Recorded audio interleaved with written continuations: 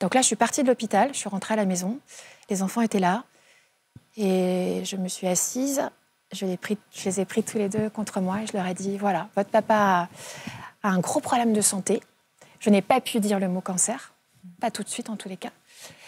Euh, et je leur ai dit, mais ne vous inquiétez pas, on va tout faire pour le, pour le soigner. Euh, il est très entouré et aujourd'hui, euh, il y a beaucoup de traitements qui, qui, existent, etc. Et, et, comme quoi les enfants savent tout avant nous. Hmm. quelques jours après, ma fille m'a dit, il a un cancer, c'est ça? Et là, je lui ai dit oui. Et en fait, je crois que mes enfants m'ont fait comprendre qu'il fallait que j'arrête de, tourner autour et j'arrête de les prendre pour des enfants parce qu'à partir de ce moment-là, eux ont grandi. Et je ne l'avais pas vu, en fait. Hmm. Et pendant toute l'opération, toute, l'hospitalisation, nos mômes ont, euh, ont grandi. Et, euh, et, je les remercierai jamais assez, en fait, de, m'avoir dit euh, maintenant tu nous prends pour des adultes et tu vas nous dire exactement ce qui va se passer. Parce qu'à partir de ce moment-là, on était inéquipés, en fait, ouais. à trois. À trois, puisque Claude était encore hospitalisé pendant longtemps, puisqu'il a fait de la... Il a été euh, euh, en hôpital de convalescence, etc., pour le cœur. Il y a eu deux, ans de combat. Hein. Deux ans et demi de combat. Ouais, avec des... Hum, des hauts et des bas, quoi. Ouais, et des sacrés hauts. Des sacrés hauts où vous avez les résultats qui tombent et... Euh, et c'est euh, et, c'est bon quoi. Et euh, et pourtant avec maintenant, mais il n'est pas là pour me le dire, mais avec je pense, il savait parfaitement qu'il durerait pas très très très, longtemps quoi. Vous en aviez parlé avec lui d'un après possible? Alors je me souviens d'un de cet épisode où moi je fuyais les médecins en fait je leur en voulais. Il fallait bien que je trouve un coupable. Donc, euh, il fallait bien que ce soit les, les annonceurs de mauvaises nouvelles qui, euh, qui soient responsables de tout ça. Donc, euh, c'était très bien. C'était mon punching ball. Donc, j'allais pas les voir.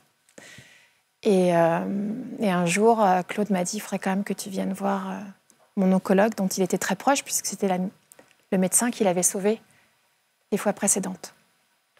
Et, je suis rentrée dans ce bureau et, j'ai regardé cette femme. Et je lui ai dit, euh, alors qu'elle est incroyable, et je lui ai dit euh, sur un ton assez désagréable, euh, il en a pour combien de temps Et elle m'a dit, je ne sais pas. En tous les cas, ses chances de survie sont limitées. Je lui ai dit, très bien. Ça veut dire quoi, là Ses chances de survie sont limitées? Est-ce qu'on en a pour 10 ans, un an, deux mois? En tous les cas, est-ce qu'on a encore le temps de faire le tour du monde, faire l'amour sur le pont d'un bateau ou, il faut tout de suite que... Et devant Claude, hein, est-ce qu'il faut tout de suite qu'on achète euh, son cercueil et qu'on organise les, obsèques? Je pense qu'il fallait que je sois que je sois dure comme ça pour que pour tenir, pour me rendre compte qu'il allait mourir en fait. Et elle m'a dit c'est limité. Donc euh, ah, vous avez compris. je suis sortie, voilà, et j'ai compris là que c'était grave. Lui était suffisamment fin pour me faire comprendre que c'était grave et, urgent de s'en rendre compte. Et là, j'ai un peu sombré. Ouais, j'ai un peu sombré. Euh, c'est le boulot qui m'a tenu. Ouais, vous êtes réfugiée dans le travail, vous Oui, tout le temps. J'ai pas arrêté de bosser, en fait. Hmm. J'ai pas arrêté de bosser. Les enfants n'ont pas arrêté d'aller euh, à l'école. On avait, c'était un peu schizo, quoi. C'est-à-dire qu'on avait deux vies. On a une vie euh, publique où vous êtes maquillée, où vous avez un sourire comme ça, puis le soir, vous rentrez à la maison et vous avez euh, votre mari qui n'est plus, qui n'est plus votre amoureux en tant que tel, qui est juste euh, un corps qui se décharne en fait. Voilà. Et puis vous avez des enfants qui ont, qui, sont, qui ont 10 ans, 13 ans, qui sont des adolescents et qui ont toute la vie devant eux. Quoi. Et vous, vous êtes là et vous vous dites, j'y arriverai pas. quoi. J'y arriverai pas. Ça n'a pas de sens de vivre. Je n'y arriverai pas. Et la vie est très bien faite. C'est-à-dire que deux ans et demi de maladie, Claude a réussi à passer le relais tout en douceur, en acceptant euh, ma, période difficile, en acceptant que je passe moi le relais, en disant je ne suis, pas capable. Donc c'est Claude qui a réussi à, à, bien organiser les choses. Et puis à un moment, euh, vous recevez un coup de fil quand vous êtes au boulot.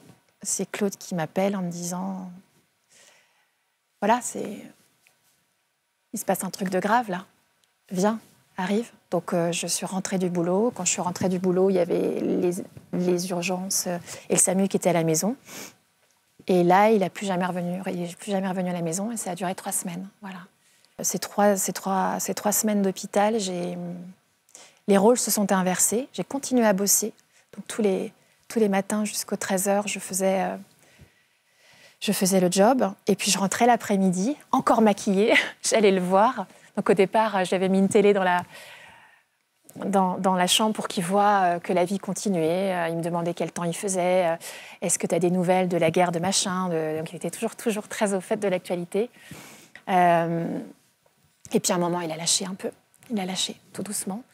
Et puis. Euh... Et, euh... et, il est parti avec nous. Et il s'est passé plusieurs trucs étranges. C'est-à-dire que dans cette, dans cette chambre, j'avais eu l'impression de. Je suis parfaitement équilibrée. Hein. J'avais eu l'impression de sortir de mon corps à un moment et de me dire c'est pas moi, c'est pas lui, je suis juste en spectatrice.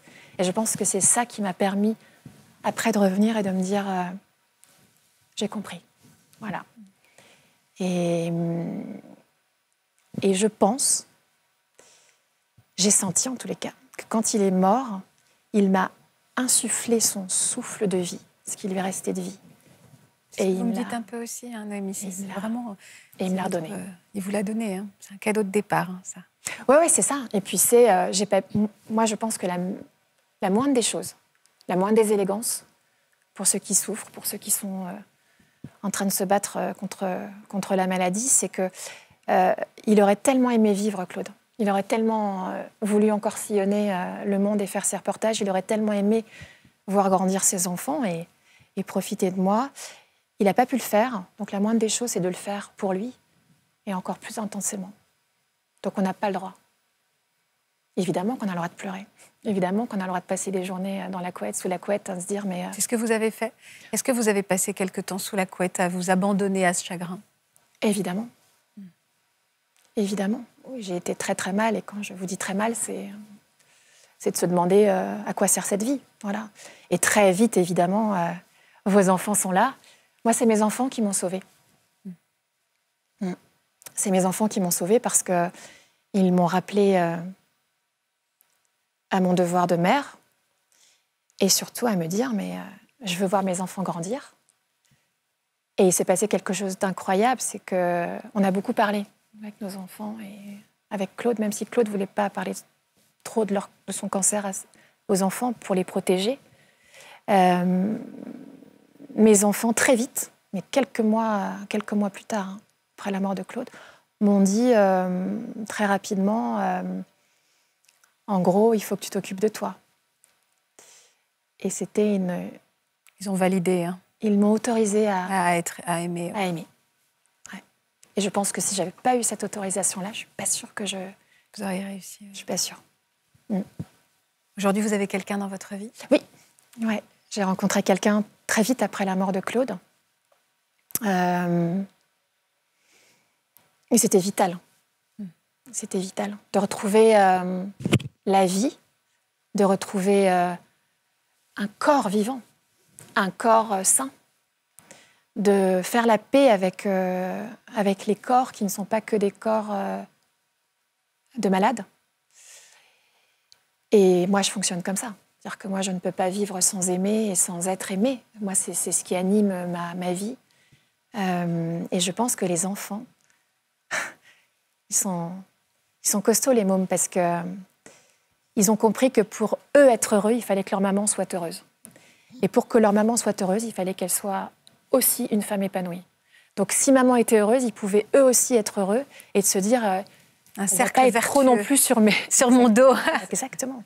qui vous a autorisé à L'égoïsme de l'adolescence, mais c'est formidable quoi.